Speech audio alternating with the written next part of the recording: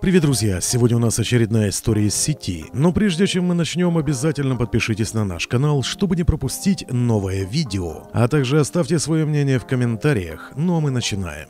Света очень много работала. Она почти не виделась со своими близкими и друзьями. И тут ей наконец-то дали отпуск. Света решила не терять времени зря и поехала к подруге Тане в другой город. Они очень редко виделись, поэтому девушка просто не могла не проведать Таню. Света быстро собрала все необходимые вещи и уже с нетерпением ждала эту потрясающую поездку. Ведь они с Таней постоянно проводили весело время. Была у Светы дома кошка. Она не могла оставить ее одну, поэтому решила отвезти к маме. Девушка знала, что там Марусе будет хорошо. Мама будет о ней заботиться, кормить и присматривать. Света совсем не переживала, что с Марусей может что-то случиться. Но в день отъезда кошка вела себя очень странно. Она как ненормальная бегала по квартире. А когда Света собирала вещи, Маруся путалась у нее под ногами и мешала. Хозяйке даже пришлось отругать кошку, а это Света делала очень редко. Сумка была уже собрана, и Света теперь ждала такси, которое должно было отвезти ее на автобусную станцию. Перед выходом она попрощалась с мамой и хотела поцеловать Марусю, но кошки нигде не было.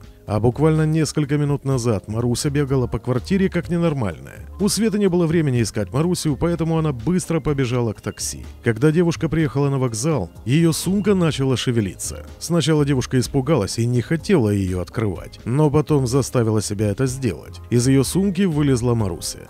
Оказывается, все это время она сидела там. Света совсем не ожидала увидеть в сумке свою кошку. Света не знала, что делать с Марусей. Девушка не могла взять кошку с собой в поездку. Да и водитель автобуса может быть против. Света была очень удивлена поведением Маруси. Ведь когда девушка раньше куда-то ездила, кошка не совершала такие странные поступки. Она всегда вела себя спокойно. А тут в нее будто бес вселился. Света таки взяла кошку с собой в салон автобуса. Но там Маруся начала бегать как ошпаренная. Все пытались поймать неугомонную кошку, но безуспешно.